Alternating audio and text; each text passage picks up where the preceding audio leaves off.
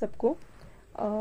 जैसा कि आपको पता है पिछले दो दिन से in social media and other platforms there was the news that minor girl child was allegedly kidnapped and raped in ले एंड फिर उसके बाद आप में से कई लोग ऑफिशियल uh, बाइट के लिए भी हमसे पूछ रहे थे। So this is the press briefing regarding the same incident thank you for coming here at such a short notice so on twenty ninth of March हमें खबर हुई साढ़े आठ बजे रात को that twelve year old girl child the identity of the child will not be revealed in the press conference about her whereabouts और where is she's from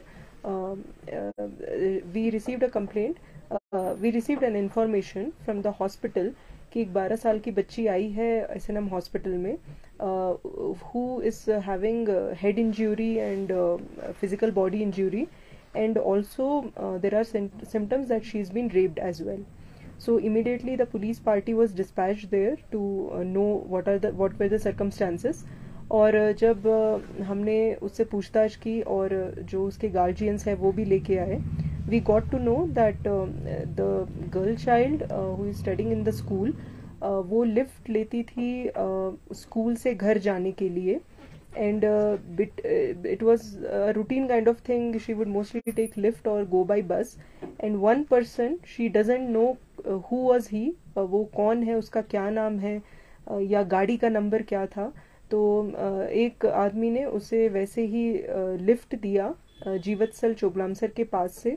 And then she was taken to very I would say सुनसान वाले area में very outskirts में चुशोत area में where the man had raped her and he had assaulted her as well जिसमें उसको head injury भी आई और उसको हाथ में भी चोट लगी और उसे uh, जख्मी करके उसने वहीं चुशोत एरिया में छोड़ दिया।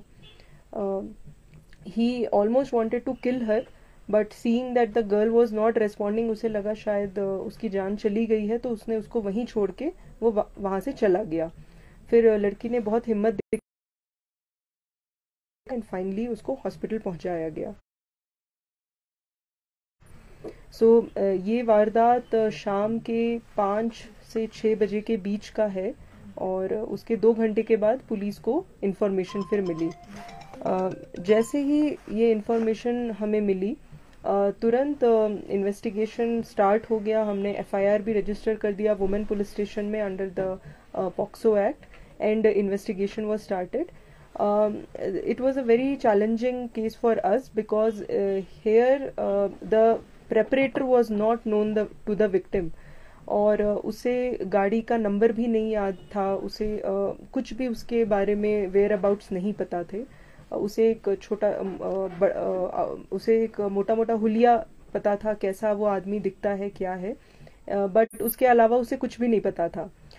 So under the supervision of additional S P ले D S P headquarters D S P D A R they had a very well supervise the case and it was it is a very good team effort we can say और इन इन्होंने teams बनाई which was led by S H O ले S H O women police station I C P P housing colony and I C P P Kharu and the intelligence unit of the district as well इन सबने काफ़ी काम किया अलग अलग teams बनाई और CCTVs हम ट्रैक करना शुरू किए टू फाइंड कि उसका क्या पाथ रहा है और वो गाड़ी का अगर नंबर प्लेट हमें मिल जाए।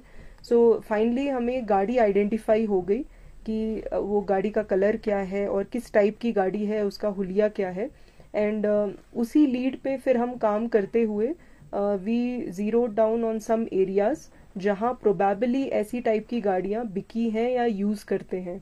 सो so, हमने एक्चुअली मैनुअल कॉम्बिंग पूरे एरिया का किया to find that vehicle within 48 hours uh, due to the team effort and the consistent sincere uh, uh, working on the case uh, we were able to find that vehicle and the person as well uh, the accused has been identified as uh, Sayyid Zulfikar Ali Shah uh, son of late Sayyid Murtaza Shah जो कि थिक्से का रहने वाला है he is fifty two years of age and he works at a private construction company as an accountant Munshi तो ऐसा बोला जाता है कि इसका रेपुटेशन मतलब इसकी फैमिली का रेपुटेशन अच्छा है लोकेलिटी में and nobody had heard any previous complaint about him but when we found that vehicle because vehicle को सीज करना बहुत ज़रूरी था वहीं पे सीन ऑफ़ क्राइम हुआ था वहीं पे uh, बच्चे के साथ असॉल्ट हुआ था uh, तो व्हीकल को भी हमने सीज किया and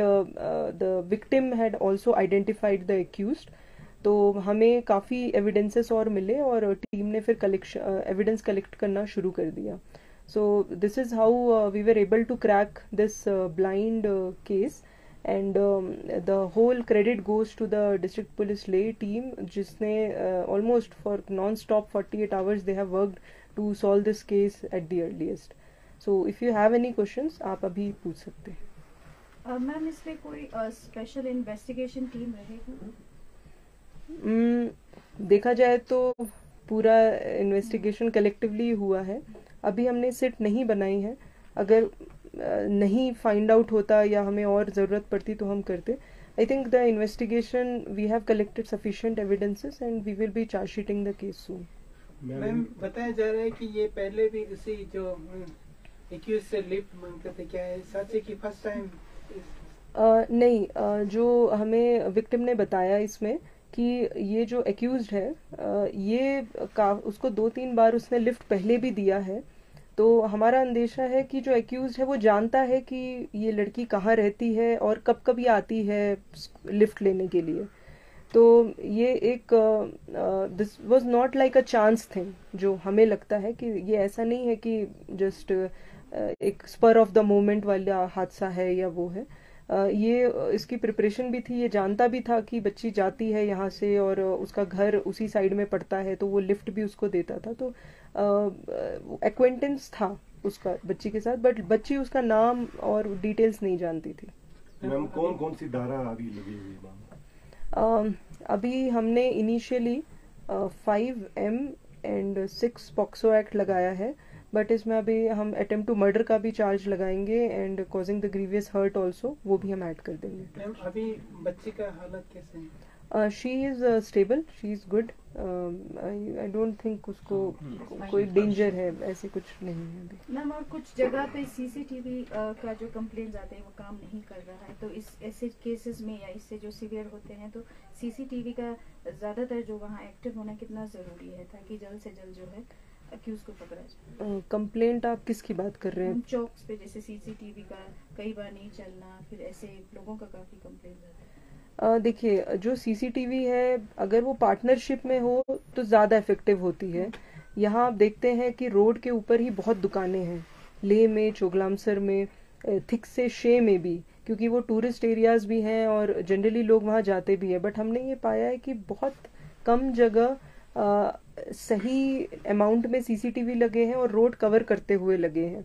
अगर आप एक्सपेक्ट करते हैं कि पुलिस ही सब जगह सीसीटीवी लगाए हमारा एक वो मेगा प्रोजेक्ट तो है ही लेकिन अभी उसको आ, आ, स्टार्ट होने में या उसको अभी फंक्शनल होने में थोड़ा टाइम लगेगा। जितने इस केस की अगर हम बात करें तो जो हमने सीसीटीवी का ट्रेल निकाला है काफ़ी दिक्कत भी हुई थी हमें कि बहुत जगह क्लैरिटी नहीं है। और लोगों को लगता है कि मैं दुकान बंद कर दूँगा तो मैं सीसीटीवी भी ऑफ़ कर दूँगा। जो ये पब्लिक पार्टनरशिप है सीसीटीवी को लेके, वो बहुत ही कम अवेयरनेस है, जिसके बारे में वैसे तो हम बोलते रहते हैं। तो हमने जो सीसीटीवी कलेक्ट किए हैं, वो मोस्टली पब्लिक एरिया से ही कलेक्ट किए हैं, जिसकी जो दुकानें होती थी पेट्रोल पंप चौक में होता था। बट हमें जूझना पड़ा क्लैरिटी अच्छी ना होने के कारण। या वो रोड को कवर नहीं करते थे उसके कारण। तो जब तक के पुलिस का प्रॉपर सेंट्रल सीसीटीवी फंक्शनल हो जाता है तब तक के एक uh, मैं समझती हूँ कि पब्लिक का भी एक ज़िम्मेदारी बनता है कि वो अपने कमर्शियल uh, इस्टेब्लिशमेंट्स में और जो स्पेशली रोड की तरफ़ जाता है उस जगह अच्छे कैमरास वो लगाएँ और अपनी दुकान बंद होने पे ऑफ़ ना कर दें। तो वो अगर कंटिन्यूस ऑन रहेगा तो हमें और भी अच्छा for more updates subscribe to our channel Kargil today click the show links and enjoy watching the like us on Facebook and follow us on Instagram. Keep watching Kargil today. Keep enjoying Kargil today, the only voice of Kargil Ladakh.